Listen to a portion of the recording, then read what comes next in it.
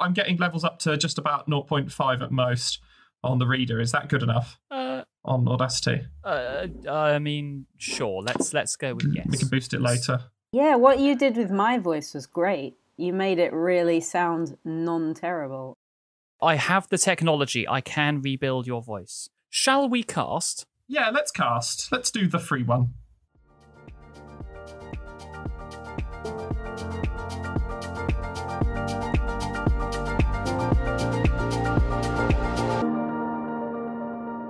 Hello, and welcome to Atypical, the podcast. It's a podcast where we will be discussing and exploring life from a more atypical perspective. My name is Simon, he there, your host, and I am joined by three friends to discuss theory of the mind and empathy. With me are Marianne, Hello, everyone. Matt, Hello, good evening, everybody. and joining us this week is. Me, the one who's going to talk over and interrupt all of Simon's attempts to introduce this. Hello, everyone. I'm so looking forward to editing this. Um, this is obviously our second episode. We started in episode one talking about autism acceptance because uh, April is Autism Acceptance Month.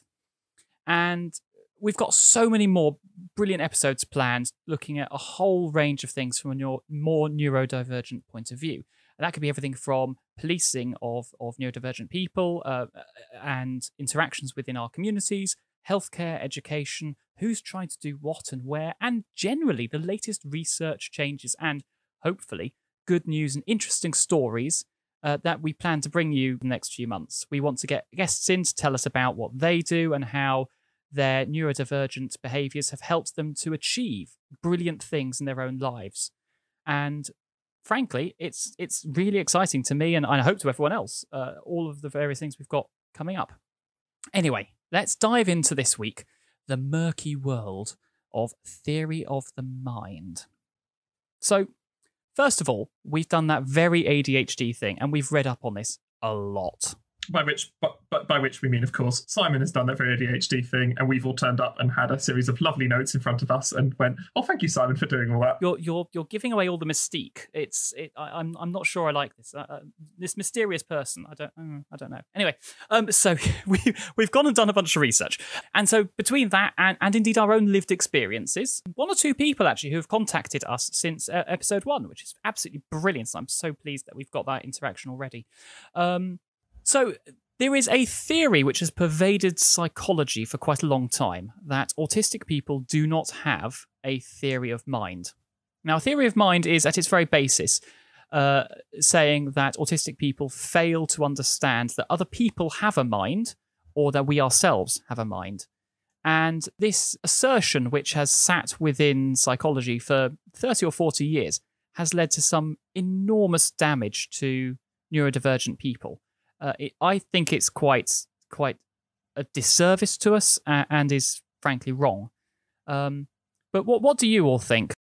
Um, yeah, I was I find this quite interesting actually because um, I think that maybe what they've tried to study is probably children more so than adults, and maybe they've sort of seen that some autistic people might develop that slowly or more slowly than some neurotypical people or something like that, and they've probably gone and blanket termed it a bit too much because I think where our issues sometimes lie um, might be with people's intentions and reading those, not necessarily thinking that people don't have their own minds and don't have their own thoughts. So we're probably very much aware that each person has their own thoughts and feelings, but we might not really know what they are because they might subtly communicate it by wiggling their left finger or whatever other non-verbal communication they rely on rather than saying, I am feeling this because this. So I think there's a lot of like a lost in translation thing. What do you think, Matt? So um, I'm not exactly sure. It's quite a bit of a new theory to me. What do I do? I know what other people are thinking? No, I don't. I can't read anything from what they say. And there was a. Uh, it's back to all that thing about if you sit in a meeting with your legs open, what does that mean? And and the, and the mm-hmm. connotations that that means. So I've never understood body language or or or any of those secret signs that society Yeah. wants. So I never really know where I am with conversations. That seems perfectly reasonable. What, what do you think, unnamed person? I think that perhaps links back to how much the way that people think about theory of mind, or way that people think about what other people are thinking, what other people know, which is what all this kind of brings in, is actually quite culturally specific. I'm sure we've all been to another country at some point, and there's obviously a lot going on, or like a very different cultural context, and there can be a lot going on, but your ability to predict what someone's going to do, how they're going to act, is very limited. You don't have much context to put things into. And I think the risk with something like theory of mind is that being autistic can quite often feel like you're you're very often in a context where you're out your depth. You very often don't have much kind of culturally or knowledge wise to go on to understand other people's actions. And so it can look like you don't understand other people's minds, whereas really what's happening is that people who do quote unquote understand other people's minds just have a lot of cultural assumptions and some like rules of thumb that they're going on about what other people are thinking and, and responding to. That if you took them into another country with a very different cultural background, would be completely useless to them as well. I think it's a really good point, actually. Is there's a cultural aspect to all of this. So I'm going to quote something now. So uh, brace yourselves. It is the Encyclopedia of Neuropsychological Disorders. Please, i have got a finger over the, over the, the bleep button. So, allow me to quote. Most of us have a theory of mind in that we can guess what others are thinking and how that might differ from what we are thinking. Those with autism can be thought of as mind blind in that they cannot imagine what others might be thinking, or even that others are thinking. To them, it would be like looking at the headlights of a car to determine why the car just did what it did, or what information it is trying to convey to us. So, first, screw them. And second, it's kind of weird to have a headlight analogy, but not mean getting run over. There normally references to headlights in this kind of thing about being a rabbit caught in headlights. Um, I think, yeah, it's it's it's, it's it, oh, it does it does feel like a difficult analogy for them to have used, doesn't it? Oh, sorry, uh, Marianne. Yeah, this um sort of a strange one here because have they basically implied that we think other people are not autonomous and don't have thoughts? I think a lot of the autistic people I've met, as just one of them myself, um, of course we know other humans exist and have their own thoughts, so it does seem quite ridiculous. But again, are they looking at very small children for this and then blanket approaching it to adults or something? It's yeah, I don't know where they're. Well, I think we'll we'll definitely be coming to that very shortly. I think because I mean it's really rather awful, isn't it? Like, yeah, this, of course. This, this is We're not from... selfish like what they think that we are. Well, we try not to be, I'm sure. Yeah. So anyway, so so that quote was from the Encyclopedia of Neuropsychological Disorders. Uh, I'm going to argue that we don't necessarily have neuropsychological disorder, but hey ho, uh, and that was published within the last ten years. So it, it's not exactly a, oh. a, you know unnew. But I did find during. I thought you were going to say. I really thought you were going to say it was like published in 1982. Oh, that's horrible. Last ten years. Mm. So uh, during all my research, I came across a study uh, from 2018, um, which I'll, I'll, put into the show note from 2018, which found that uh, th- this this idea that there's no theory of mind for autistic people has completely pervaded thousands, and I mean thousands of psycholo- psychology articles. In fact, they found that over 75% of the top 500 articles indexed by Google Scholar for theory of the mind and autism just reassert that autistic people lack a theory of the mind but completely fail to provide any original data to back up that claim. So, I, guess part of the conversation we should have tonight is where does this claim even come from? And there's a few people, but suspect number one, certainly for me and the, the papers I've read so far, is a British psychologist who, who some of you may be familiar with, uh, a, a person by the name of Simon Baron Cohen who is the cousin of Borat and Ali G's Sacha Baron Cohen. Um, so yeah, so as as you were just saying, Marianne, a lot of his um, his claim is is basically based on basically based. There's far too many B's there. Um, is is basically based on uh, autistic children's performance on a theory of the mind task called false belief. Now, I think Matt, can you explain false belief to us? Yeah, I think it's um, so, in a false belief task, a child might be introduced to two puppets, one named Bert and the other named Ernie. The child watches as Bert places a sweet inside a box. Then, Bert is taken away and Ernie moves the sweet from its box to another location, such as in a cupboard. When Bert comes back, the child is asked, Where will Bert look for his sweet? If the child answers with the location where the sweet actually is, rather than the box where the first puppet placed the sweet, the child is considered to have failed the false belief task and to lack a theory of mind. So, has anyone ever experienced this or, or heard of it anywhere else? I've heard of, um, I think it was called something else. It had a girl's name, like Sally or some other sort of female name. But yeah, that's where I've heard it in the context of autism tests. But I got diagnosed using a slightly different method that wasn't towards children. It, it feels like it's much of a muchness with the um, famous marshmallow test, which is about you know ability to kind of restrain oneself from from taking a. a did I say marshmallow? Yes, I said marshmallow. said marshmallow. Restrain oneself from uh, eating a uh, marshmallow, and apparently that's been uh, shown itself to be incredibly unreplicable. Um, I also remember a version of this uh, this false belief task uh, being included in the book "The Curious Incident of the Dog in the Nighttime," uh, a book by Mark Haddon, who who is an autistic. Um, which I do remember when I was at school in the 2000s was taken as a very much a genuine portrayal of autistic experiences. Um, but in retrospect, quite a lot of it felt very much taken almost directly from academic and other writing and like popular writing on autism. Um, suffice to say, it's uh, it's aged um, it's aged poorly. You might be surprised to hear. Mhm. Uh, Matt, This reminds me of Schrodinger's cat. It's all a thing about if this isn't there, where is it? It's all very confusing to me. It's also the it's also the kind of thing where it feels like the explanation of what the task is is very simple, but I suspect how it's actually done in practice, the devil's in the detail. Well, Um, as we'll come on to later, the, a lot of the problem is uh, repeating these tasks has often led to uh, less than brilliant repeated results. Um, and as any scient- scientists amongst you will know, the true test of any good experiment is one that can be repeated. I mean, we, we did a bit of research into sort of false belief tests, and I actually found some quite revealing data, which boiled down to actually a lot of children get the false belief test wrong. Those with language impairments or Down syndrome, cerebral palsy, epilepsy. Fundamentally, the more atypical a child, the more likely they are to fail false belief tasks. And, you know, we love atypical people on this podcast. We wouldn't exist uh, if we weren't atypical. But one of the things which we sort of looked at a bit more was it wasn't just those with, with a neurodivergent uh, brain who were failing these tests kids whose parents smoked at home or had fewer siblings or just came from a lower socioeconomic background were more likely to fail a false belief test. So that kind of feeds into what you were just saying there is the way in which these tests were managed and deployed, it could could have done more about the, the outcomes than the test itself.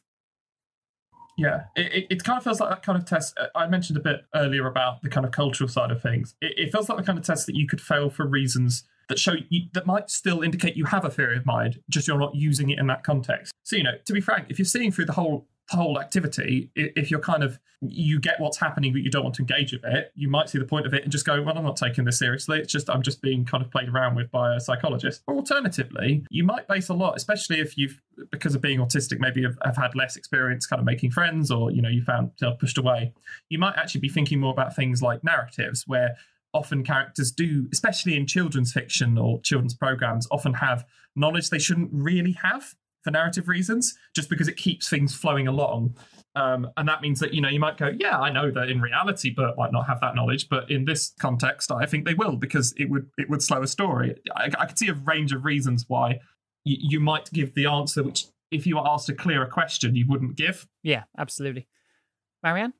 Um, yeah, so I guess the thing is with us, or sometimes autistic people, is we struggle to sort of jump in on a conversation while it's still relevant. And sort of funny enough, I was going to say, I remember when we did the curious incident of the dog in the nighttime, and I was 12, I was told by our English teacher that autistic people don't have any empathy and cannot feel any love or any sort of warm feelings towards other people. And this is what my school was teaching about autistic people um, in around 2005 or so. So yeah, Oh, yeah.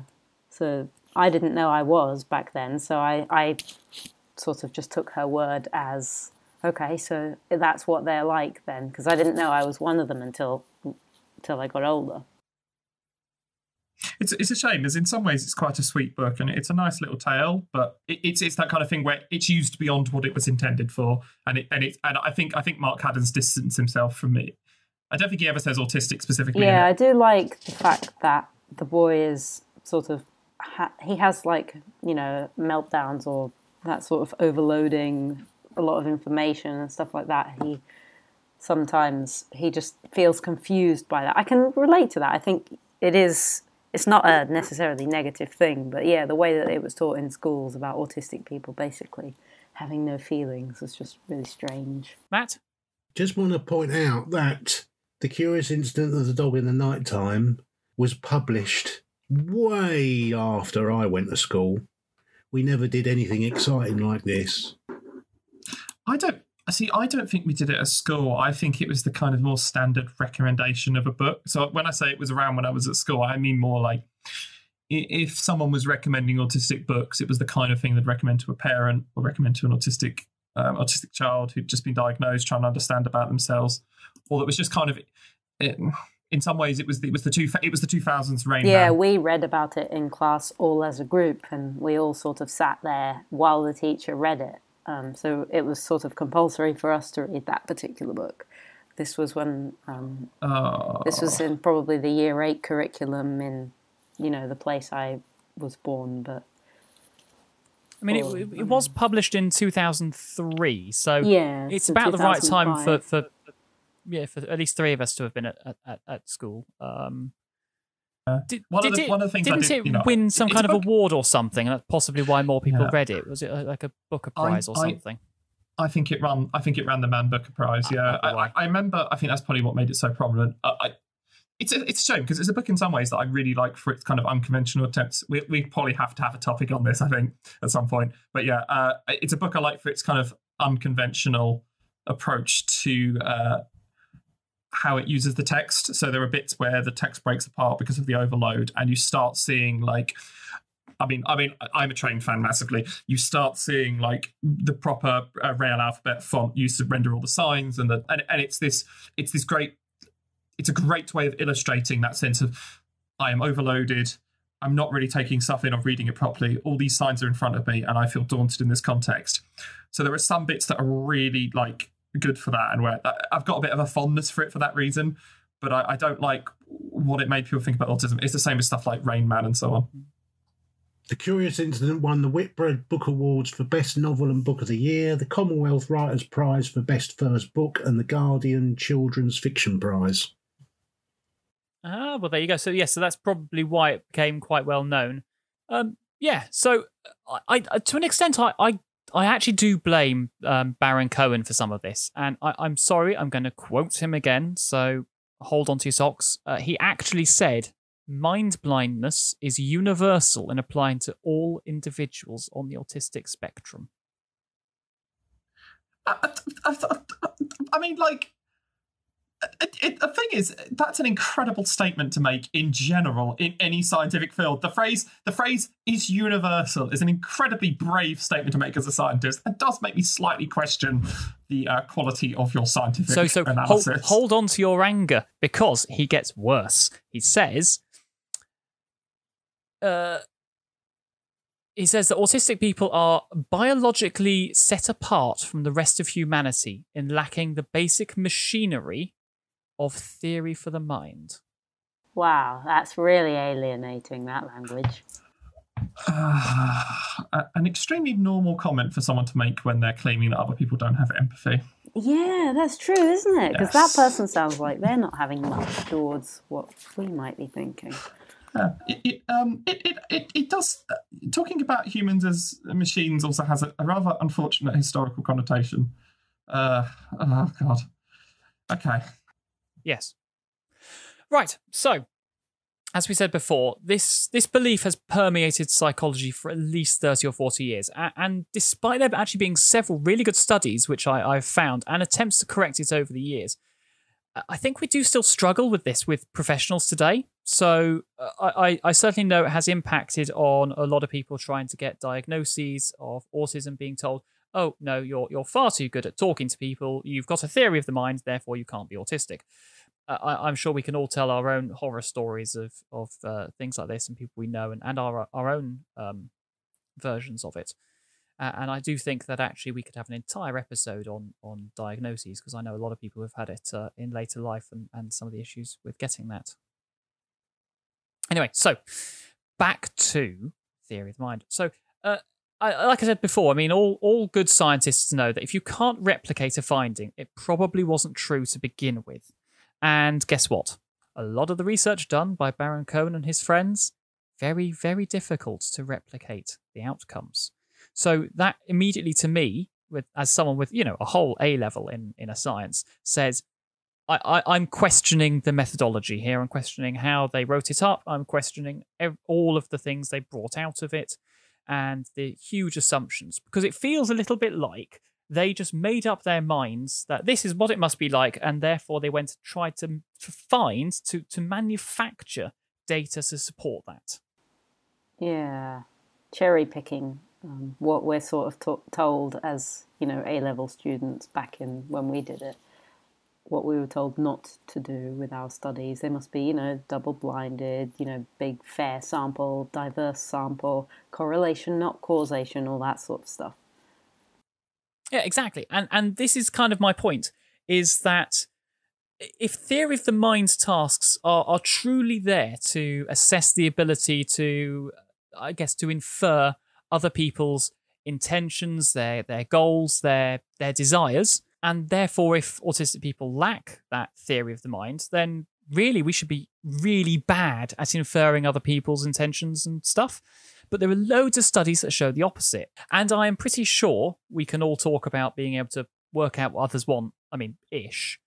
Given context of when you're in a situation, you've got an idea about roughly the kind of thing somebody might come back with you. If the conversation is flowing and you're talking about a particular subject, you've you've got a rough idea where it's going. But if it's all from the outset, it could be anything really, and you're you're, you're not prepared for whatever's coming because it could be literally anything. Yeah, absolutely. So I just sort of slightly lost track where I was in the chat thing because I was just making a note of what my joke was there.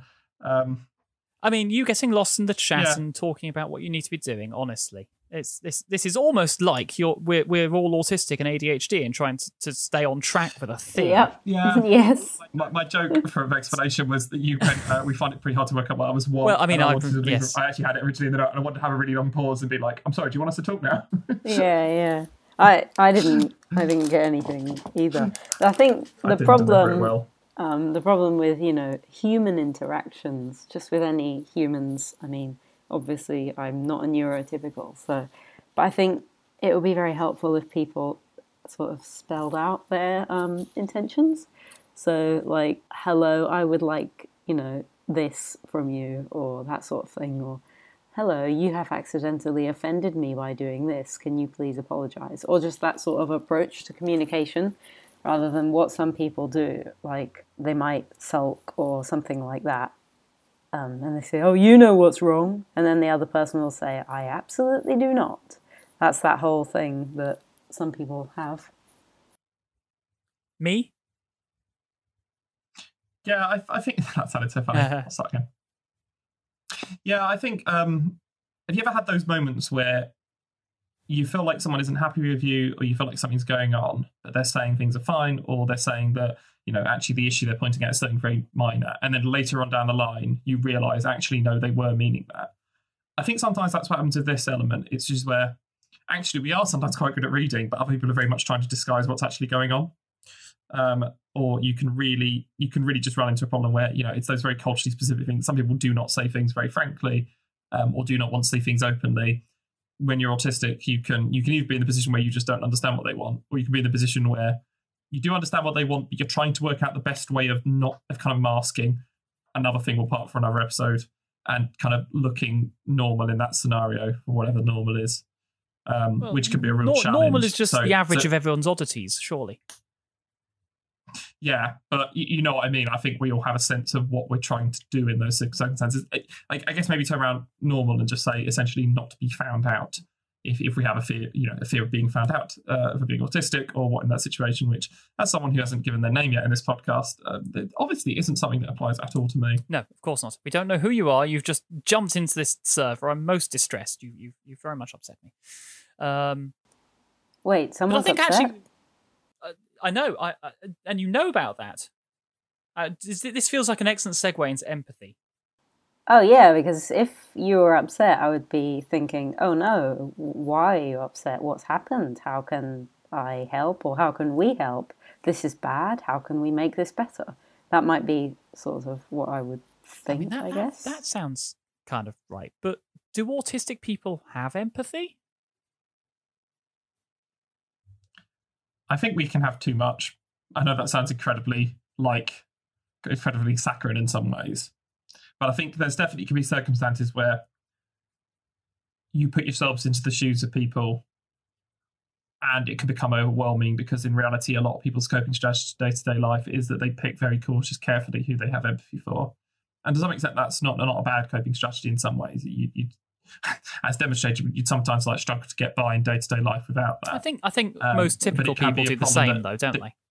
yeah. But you can you could you could essentially run into a problem where you, you essentially just you with people to the point where you kind of play down yourself and you play down what what you want and need in a particular situation. Um, you know you, you you don't you don't go for a job because you worry about upsetting that person who's also going for it. But uh, maybe the reverse isn't true or maybe the reverse is true. They are worried about upsetting but they also are willing to put their own interests first because they understand that that's just how things are. Um, I I think I think you can get that kind of situation quite a lot um, when you're autistic. What do you think, Matt? Um, I I'm having to look up empathy in the dictionary, um, because when I was employed, one of the things I had to do was to consider everybody's um, aspect on certain things.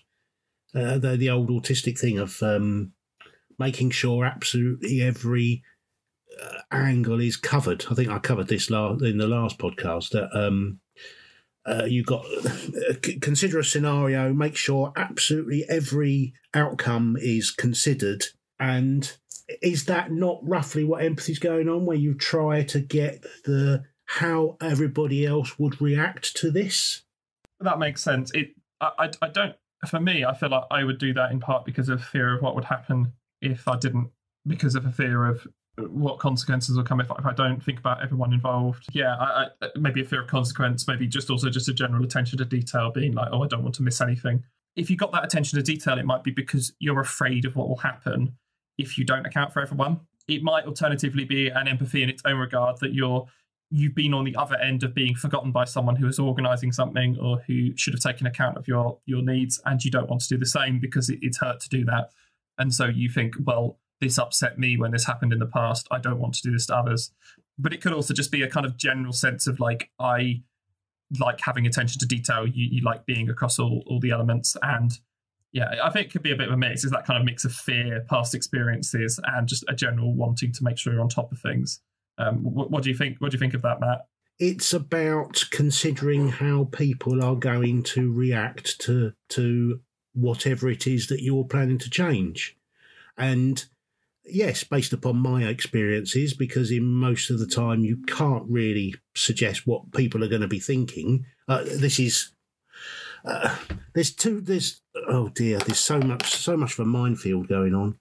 Um, when you're with somebody and you're face to face, I would presume that you would have a better chance of finding out what they're uh, getting some empathy from them because of the way they behave. And and again, back to seating positions and body language. But if you're considering people's reactions to the world and you making a change in it, then there's it could be anything. You, um, you can only base it upon what you know. So yes, based upon personal experience, that's what I do.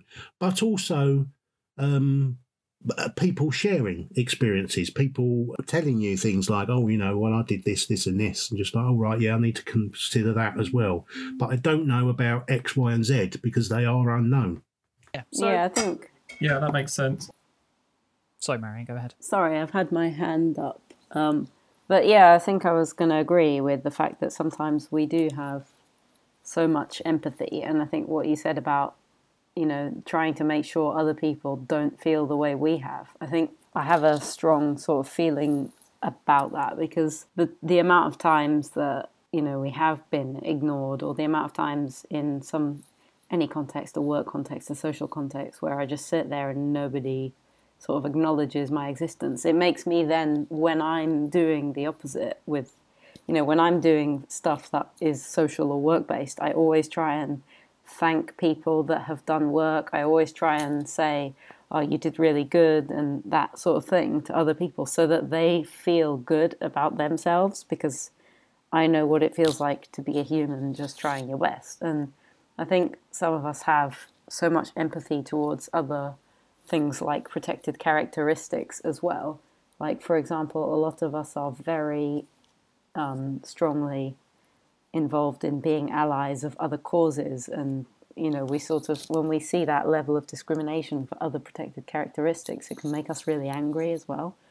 Um, because we sort oh, of 100%. We, Yeah, we, we are exactly. absolutely a, a, a pro trans, pro LGBT, pro people podcast. Yeah, anti-racism, anti-homophobia, and anti anti basically being a poo, I guess. Anti-discrimination. What do you think, me? Uh, so, so, so it's funny because I feel like I've had this a lot of experience lately with, with stuff at work where I think maybe what we can separate here is the idea of if kind of that theory of mind thing, which is not getting that other people have minds and have thoughts their own, and a difficulty in reading people, which I don't think is necessarily just an autistic thing, but again, coming back to that cultural thing, can be affected by it.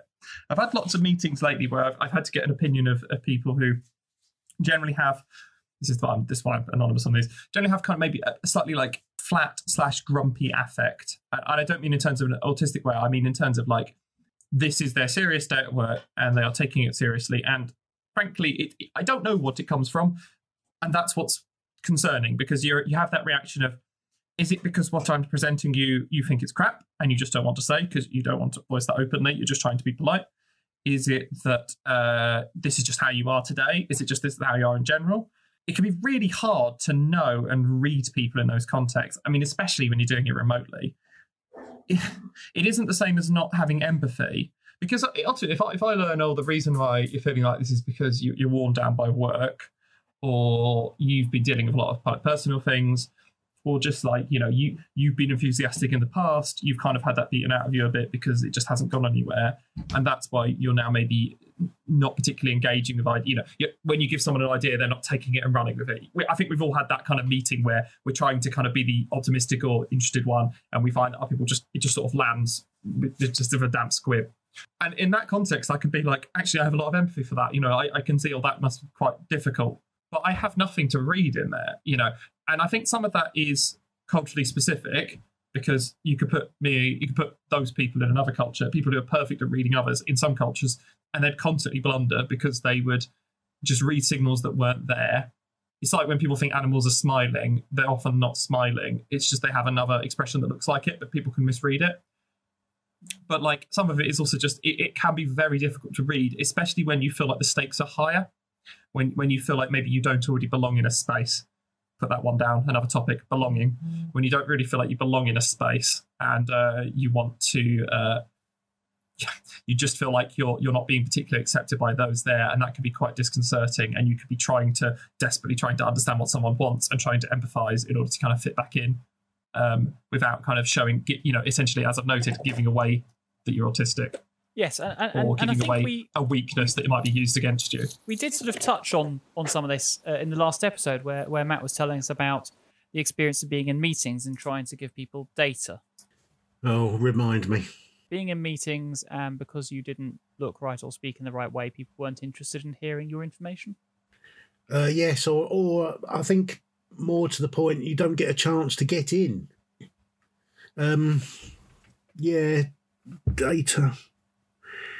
Um, you're not. You, can't. Oh dear, you can't explain yourself enough into them. You can you can give them the raw data, and it comes off sort of. Uh, it rolls off the tongue as if, oh, and this did this and this did that but I don't really know how you present data for everybody else because again, it's uh, trying to get them to understand it relies upon knowing how they would interpret the data themselves. Um, I'm going to haul us back a little bit uh, because I, I, do think we need to slightly sort of set out our stall a bit. As we've discussed before, and, and, and I know we this has come up in other conversations that, that we've had elsewhere, uh, we do know that there's a bit of a a dominant theoretical model of autism that has long centered on this sort of assumed autistic lack of empathy.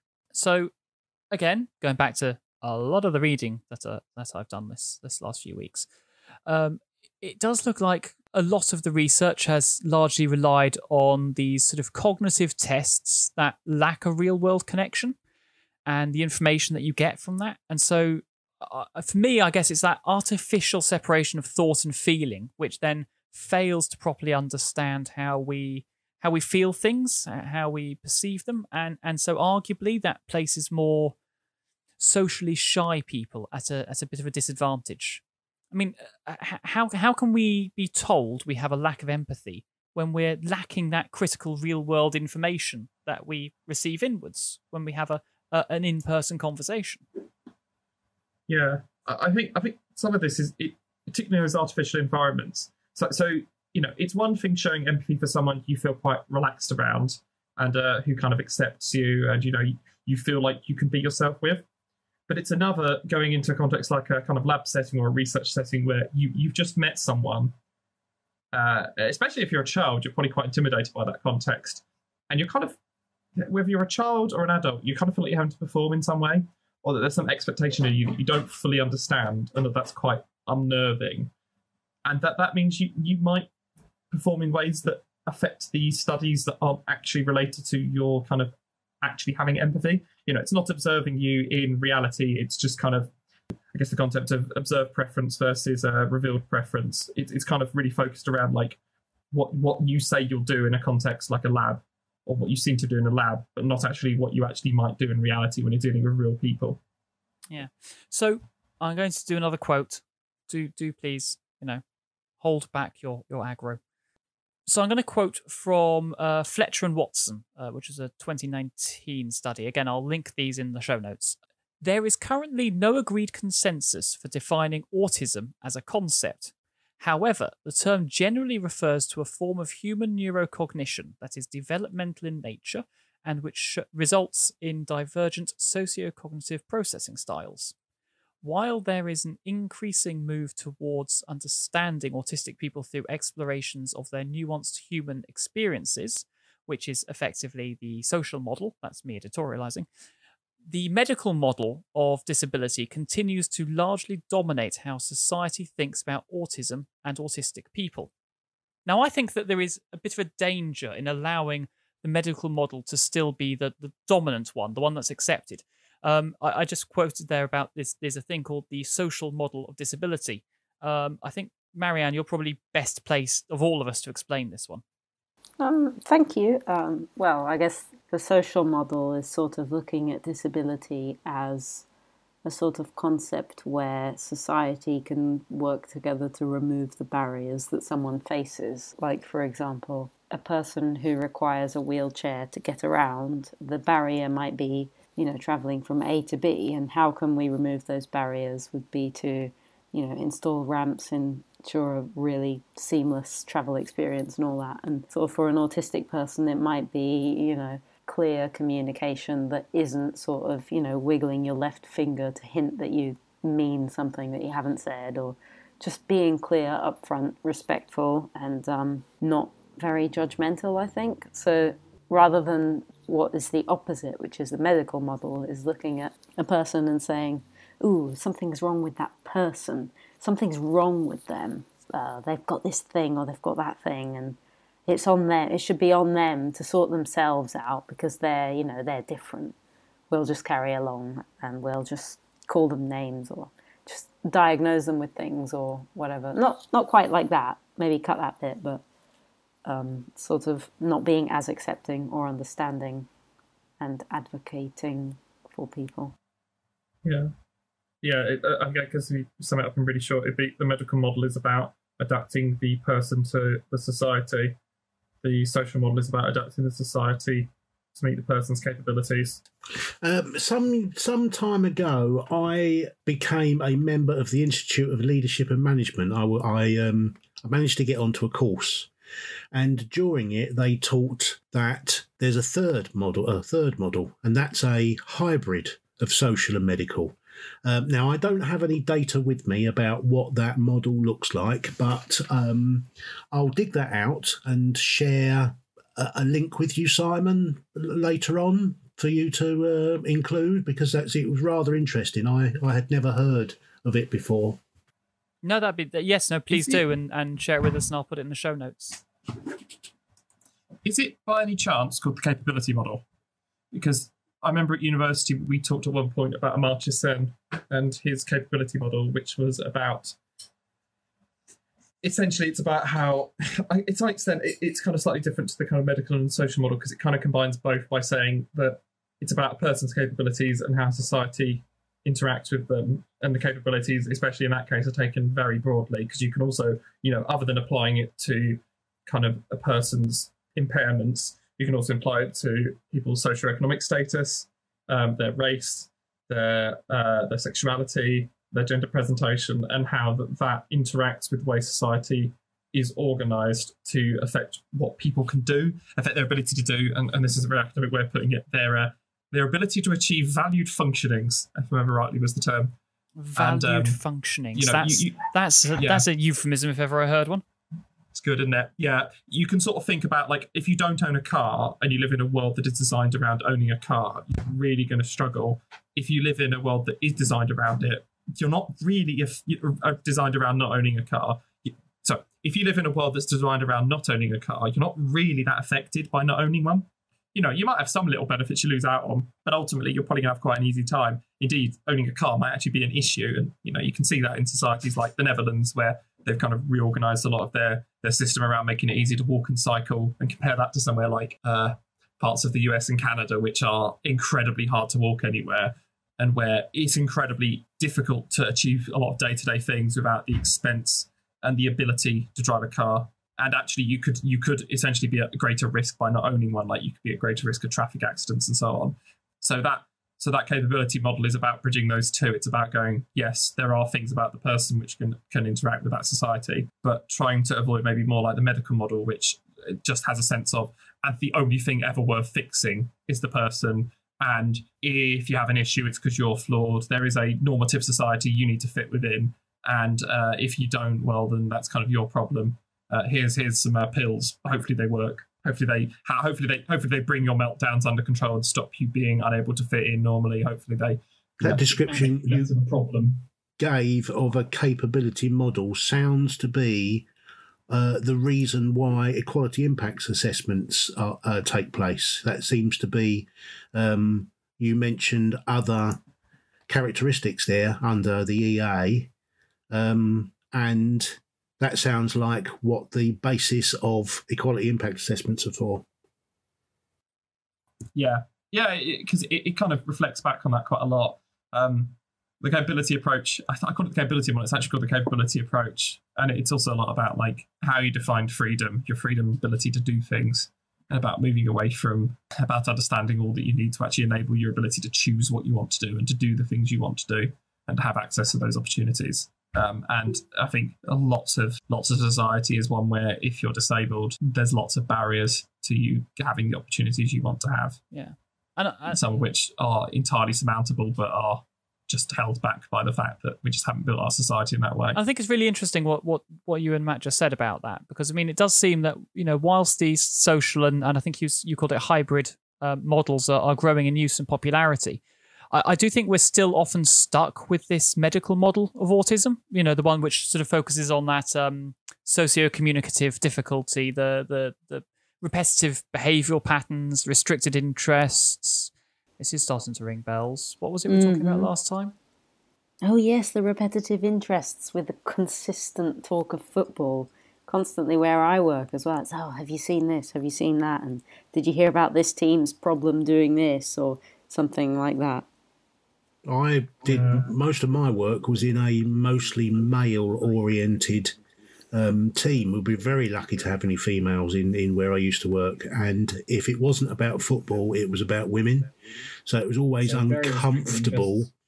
Um, and then there's this um, uh, there's there's the football bit about the, the the beautiful game and the actual intricacies of the game, which is all very well. But then there's a kind of a macho side to it as well. That- Tribalism. There was always this feeling of testosterone in the in the room, and it was always very uncomfortable. Football, football, football. I think I think there can also be a you know I, I don't want to go too far in saying that the people you know I, I think football is definitely a, a- seen as a very accessible topic to start a conversation because I think in the UK context it's assumed that most people have a team they support or at least most men. But I think the problem that you run into is when the reaction of when it's so difficult to say I'm just not interested in that topic or when like it's used as a way of like excluding others from a chat or when it's kind of becomes such a dominant topic in conversation that it kind of puts you at a disadvantage or where it's actively used as a thing of oh aren't they weird they're not into this because uh, I, I think there's that kind of thing you, you you can have healthy and unhealthy obsessions Yes. and I think some people have a slightly unhealthy approach to to them. I, I think sometimes it's also like seen as a kind of conversation starter or an ability to like go, oh, you're into this team, you must be like X, Y, Z, where people try to square each other up on first meeting. Um, I've, I've never liked football, so I always struggle with that. Um, Right. Um, yeah, I can. uh, I, anyway, so dragging back. Um, so be- football, football, football. yeah, I, I have no interest. So because I suppose this dominant model is well just that. Um, uh, uh, so much of the the autism research that has been going on for years and years and years has has focused on what typical people think that autistic people lack. And it's, I guess, in this way that autistic people are positioned as being in need of um, fixing in order to align our behaviors with those which are typically expected within mainstream cultures. Yeah, we can probably add that to the list of uh, topics we need to do a whole episode on fixing and curing and uh, why aren't you just normal? Maybe that's what we should call it. why? aren't- Yes, that's an excellent uh, episode title just there. Yes, um, I think we're going to have to do a whole episode on those people because I, I, I think we have a lot to say about the cures some of these organisations peddle, and you know that the abuse, also known as ABA. Uh, anyway, as I was saying, uh, uh, consequences, yes, consequences um, of the medical view is that I guess the autistic community have long kind of been denied agency in shaping our own narratives and influencing how, I guess, how we're viewed within society. I mean, it's part of why we started this podcast, after all. But I guess, what do we think? I mean, do, do, do we think that the medical model has robbed us of, of agency and therefore we get mistreated for not conforming with what typical people think is normal?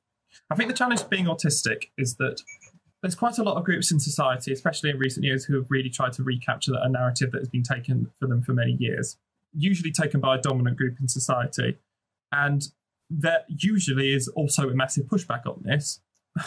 But there tends to be, I guess this wasn't the case initially on some of them, so I don't want to speak too broadly on this, but you, you tend to have a situation where there isn't another group that's seen as necessarily having like the final say on what that group should be like. One of being autistic is that you run into an issue that a lot of people you speak with treat psychologists, psychiatrists, kind of medical professionals, and actually maybe even less so that, but more what's been kind of brought in to receive knowledge, what's been written over time, what people have heard over the years, what they've seen in films. They often treat that as just as influential as what an autistic person says, if not more. And we therefore often really struggle to kind of set an understanding of what autism is, and we really struggle to kind of like set uh, have that agency to be able to say, you know, this is what we're like, this is what we're looking for. It can often be really hard to get out there, in particular because you know, coming back to this idea, this is definitely not just unique to us. Um, the forums through which we would share that knowledge are quite often built and designed for a certain type of person, and often the impairments we have or the experiences we have make it very hard to engage with those forums or very hard to kind of be heard in those contexts. Yeah, I think you're absolutely right. I mean, it's it's something which does also apply to to to, to other people who are uh, Absolutely. sort of on the atypical uh, spectrum, if you will, um, especially across sort of the LGBTQ plus communities, I suspect. But uh, I, I guess part of my, my my worry about this sort of like the, the medical uh, sort of view that we we lack that ability to to empathize and to to to have our own agency comes back to suspect number one once again. So I, I had to go through a number of papers to understand something which he'd written about, which is called empathizing systemizing. And bear with me because there is some insane awfulness here. But essentially, it is a mix of that mind blindness that we talked about earlier, um, and another of Baron Cohen's theories, which was called weak central coherence, which he believed to result in increased attention to fine detail and difficulties integrating information within a wider context. Basically, what he was saying is that autistic people are seen as problematic and incapable of uh, uh what he saw as an assumed need within everyday social situations to quickly understand social information. Mm. There's a there's a thing there about filtering, isn't there? So quickly understanding social information, uh, it's back to being blinded by signage and the like, and deciding which one means which. Where some of them can be ambiguous and working your way through, and all of that time that you've been thinking this, you are expected to come up with an answer within a split second.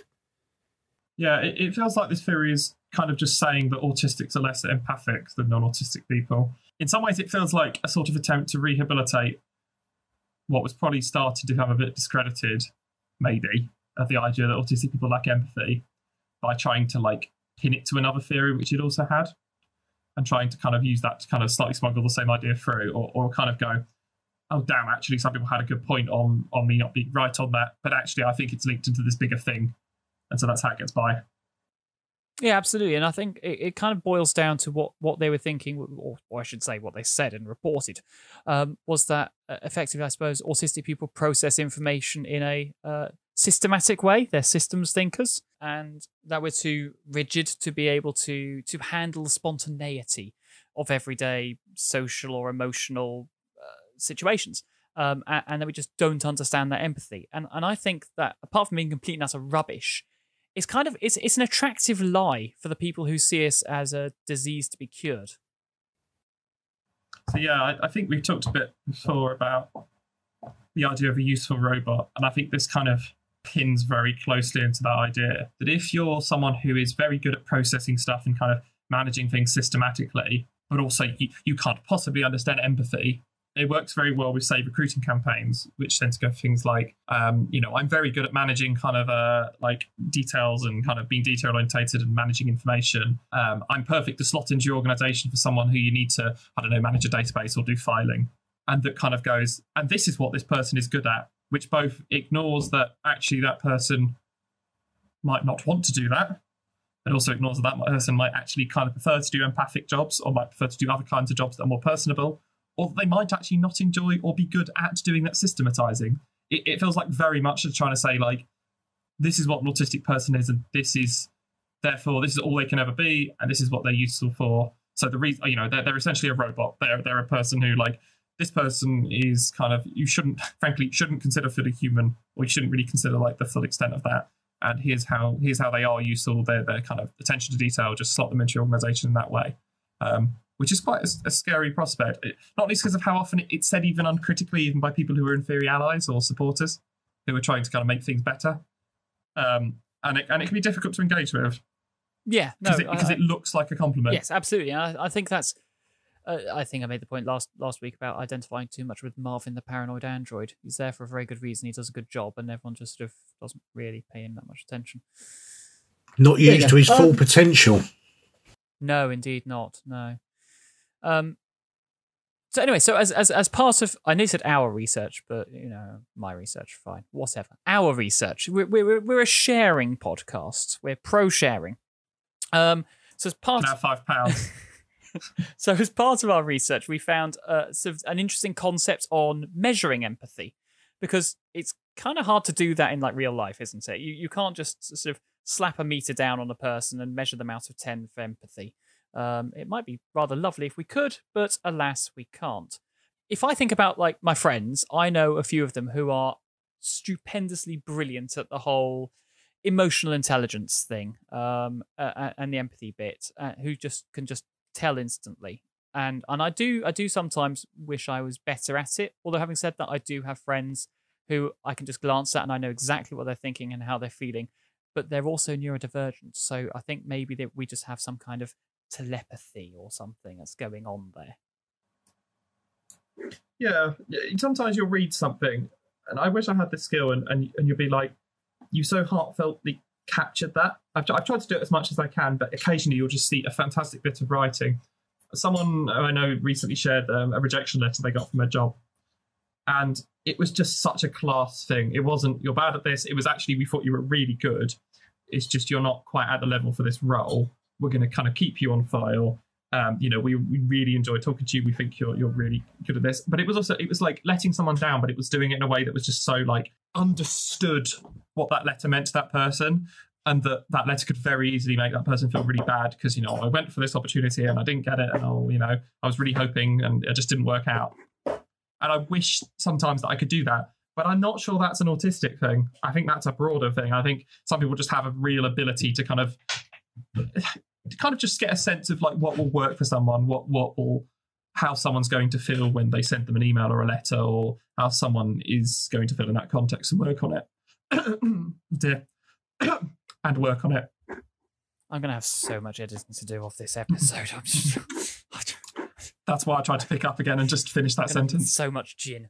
Um, but yeah, so again, hauling us back. I like this this hauling us back metaphor. I, I you know, I'm going to end up with with sort of metaphorical podcasting arms like a stevedore. Um, so what about uh, a, a fiction? Have you ever read a book or watched a TV program and felt like connected with the characters, sort of able to feel their pain, getting upset about things happening to them? Uh, I mean, I, uh, certainly when I was younger, it's like I, I'd read a book and go, right, this character is now my personality for the next six months. Do, do you ever sort of feel empathy for uh, fictional characters? Yeah. I've also done that thing where you borrow how you talk quite substantially from how another person talks or from how someone talks in a book. Can sometimes lead to quite stilted language, you know, especially if you read or hear something at quite a formative age. And especially if at that point you're looking for ways to, well, mask. So, yeah, no, very much so. And what about you, Matt? Breakfast Club. Uh, um, don't the think Breakfast Club was pu- particularly popular for the youth of my generation, and we all wanted to be John Bender.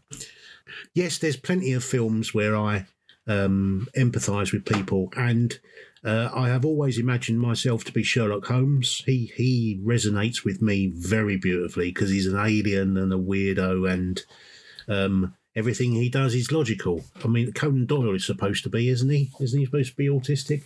No, no tests around, of course, back in his day, but it is suggested. I think.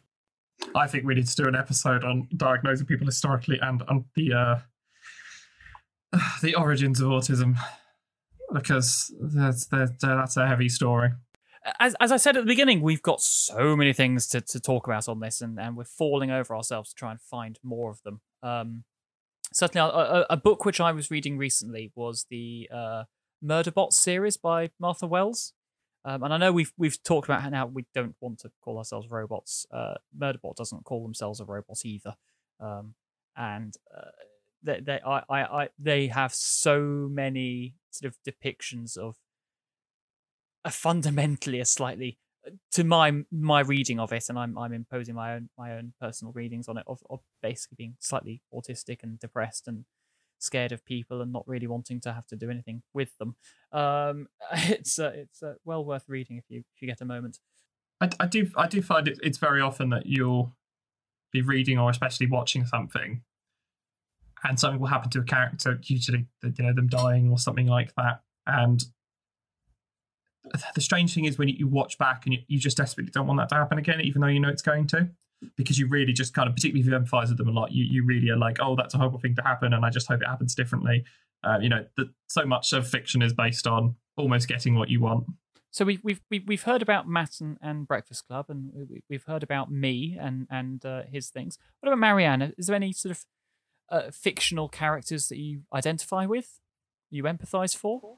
Uh, oh goodness. Um, I guess so. Of the varied and possibly controversial things that I've seen before on television, um, because I have a strange, well, not strange. I have a sense of humor, I guess, which is probably contrary to what a lot of professionals think about autistic people. Um, so I did see a psychologist or psychiatrist once that said autistic people do not have any humour, so there's no way that you could be autistic. Uh, she interpreted jokes within the session, of which there were none, but um, it's yeah, it's strange. But I have felt um, sort of not connections, but like sort of thinking, oh right, I really feel for that person having that thing going wrong or something like that. I guess if the story is good enough, although some of the things like there's a program called Friends, which I absolutely have no interest in. There's that that sort of overly social context just seems more boring than when there's sort of other bits that are more interesting going on. I think. Yes, that Friends, that, that famously uh, brilliant television program where they all managed to sort of not earn a huge amount of money and live in the world's biggest apartment in one of the most expensive cities in the world. But you know, let's not get into that. some of that, some of that, to be fair, not not to defend it, was because of that's how rent control works. But yes, it was very much a. sort of reminds me. I think Seinfeld has the same thing, though. I think Seinfeld is the better show. Where uh, Seinfeld is very much about what people in LA think living in New York is like, because they drive everywhere. I mean, that just sounds horrific to me. But yeah. Anyway, so oh, it's so good. uh, how how do we assess? again, hauling stevedore arms. Um, how do we assess um, empathy? And, and there's been some interesting studies, which I, I again I'm going to talk about studies because you know I did the falling down the rabbit hole thing, and using fiction to help set a, a baseline, if you will. And one of the ones that's been used recently is of mice and men, and they had a bunch of autistic and non-autistic people write daily diaries uh, and fill out interviews and, and so forth um, about how they felt about the book, the characters, and the story. Uh, and the idea from this is to start from, like I say, this sort of agreed baseline where everyone has the same information to work from, and uh, I suppose effectively to to to work away and decide if they actually can can feel empathy within the confines of that story. So, mice and men. Did anyone read it at school? I know it was quite a popular one. I, I had to do the one on the island with the children and everything else, but uh, no, I didn't do mice and men. Did anyone do mice and men at school? I did. I did, yeah, yeah, me too. Um, what, do you remember of it, Matt? Well, the same with David Copperfield as well that I had to read. and We never did any Shakespeare. Was that they always said, right? So, what do you see between the lines? So I'm physically looking for something between the lines, but I, I never, I, I still to this day don't get what they're trying to say hidden amongst the meaning.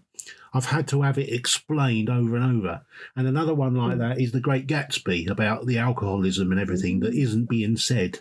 I never really understood it. I, I, you know, I always look blank. What you, what do you mean? There's something else written here. I, I don't understand. I've never really got that.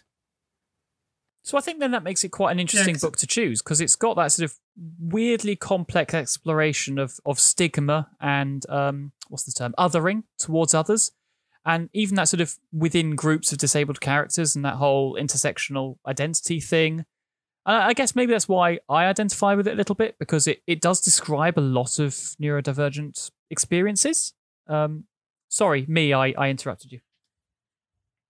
I think the I think the point about you make a really good point there because I think a huge bit in of Mice and Men is that no one wants to be there, and I think to some extent it's a book that's hard to really like understand without understanding that kind of broader context of the depression and the the dust storms and so on. And I think like yeah, it, it's it's an interesting story. It's a story that hasn't aged well. Let's put it that way, especially its portrayal of intellectual disability. But it's a story that also like like a lot of that kind of the greater American novels is a kind of tragedy set in a situation where uh, essentially people are experiencing things underneath that they aren't able to talk about. Marianne. Yeah, I was going to say along the lines of the um, sort of portrayal of people with intellectual disabilities, but also I think disabilities in general that are, you know, sort of not visible, or sometimes even the visible ones, is that um, there's a thing in that film or and the book, sorry, um, about where the man accidentally kills, uh, I think, rabbits and then a human or something like that accidentally, but it sort of comes across like it could portray the fact that people are, yeah, spoiler alert, that people with you know those kind of disabilities could be potentially dangerous. When I think an important thing to note is that we're more likely, we as in you know neurodivergent or emotionally or um, developmentally, intellectually, sorry, developmentally or intellectually disabled people are more likely to be victims of violence and bullying and those kind of things rather than the perpetrators, which is something that I think the media doesn't understand. Yeah, that's very true. Uh, I should probably add um, spoiler alert for anyone who hasn't read a book from the 1930s. Um, there was a spoiler there. You'd be surprised I, how many of you young people haven't read the classic books that we were taught at school. Yeah. Go on, name another classic book that you were taught at school. Uh, I'd say let's. What would we do? We did The Great Gatsby. We did Z for Zachariah because it was all nuclear war at the time in the eighties. Um, Never even heard of it. Uh, it's very good. Um, the book, uh, the TV, the, and they did a TV show as well, which was very good. Um, it's all post-apocalyptic Britain and uh, and threads, but I'm I'm I'm I'm um, dive, uh, I'm moving away from the target here. Need to reel me back in. Um, I'll reel you back in. We'll we'll we'll do a, a book review episode, so uh, you can go back and read Zed for Zachariah, and you can then uh, review it for us. How about that? Just to do a, a, a, an end bit on the the point of uh, empathy. Mm. I think the experience you can have when reading a book like Mice and Men, or really any watching any book or any fiction, and especially reading people's analysis of it, is that you can very quickly end up putting yourself into every single person's position. Now, to some extent, that's a mark of a well written book, but sometimes that can also make it hard to engage with a book, especially if like the book is actually trying to be relatively simple. Like, if you've ever had a, ever had a series where like there's a really clear villain and then like you read something on TV tropes or somewhere that says like you know have you considered what it's actually like what what actually might be driving this? Usually that's not what's planned because it's just a very simple series but you can often very quickly come up with a actually this is actually a really bad situation for them or you know you can actually put some explanation behind it and actually you know if you see it in their shoes they are in some horrible situation. Um, and then you're actually like oh god I really empathize with that or really even sympathize. And and that uh, that can be a very strange experience. Uh, I think you can sometimes have a scene where everyone in the scene who's getting at each other or attacking each other or whatnot, and only one of them can come out of it, um, you wind up being like, I actually empathize with everyone here. And that reminds you a little bit of happens in day to day life. So let me just finish by telling you about the, the study which was done. So I found one from last year done by the University of Liverpool, where they used of mice and men, which is why we've just been talking about it. Um, so it showed that everyone who took part, and this is both uh, autistic and non-autistic people, um, experienced times of being invested within the book, as well as times of struggling to become or remain invested. So, a bit like you were just saying. So, I've had a bit of a read of some of their diary responses. But anyway, so the study outcome said that, as as like those of us on this podcast would expect, that there is a deep and complex range of uh, empathies which can be shown by the autistic participants. And in fact, they didn't show any specific empathy deficits when compared with non autistic participants.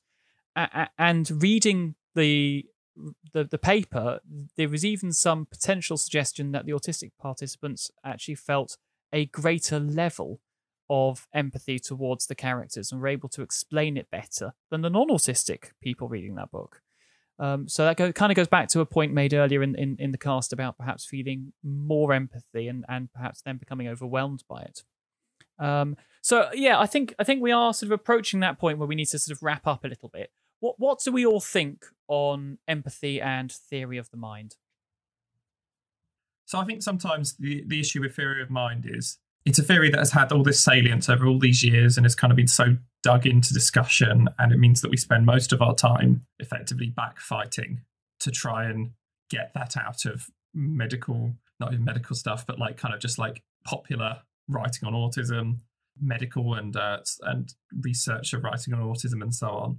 And that, you know, as you've shown earlier on, Simon, it is still so deeply laden into even studies done recently. I do think it, I do think, however, that kind of like broader cultural context is worth considering, and, and I don't think I don't know how much this is something that really the research looks at. I, I, think it comes back to how how researchers think about autism and what autism is, and what kind of they mean when they're talking about theory of mind, and that is, you know, I do I do think that they, it can be hard to read others, and that, but that doesn't come necessarily that that can come from being autistic, but it can also come from other contexts. And it's kind of that kind of thing that I think we need to talk about in another session, which is kind of the secondary impacts of being autistic. And I think in this case, it's that if you're autistic, you've probably had various things which have led to you not being embraced by your peers, but it's probably affected like your ability to make friendships. It's probably affected people probably judge, and we probably need to talk about this very quickly that you're autistic in certain contexts. And therefore, you've probably felt quite excluded. And some of those situations where other people were developing those abilities or were learning that cultural context aren't there.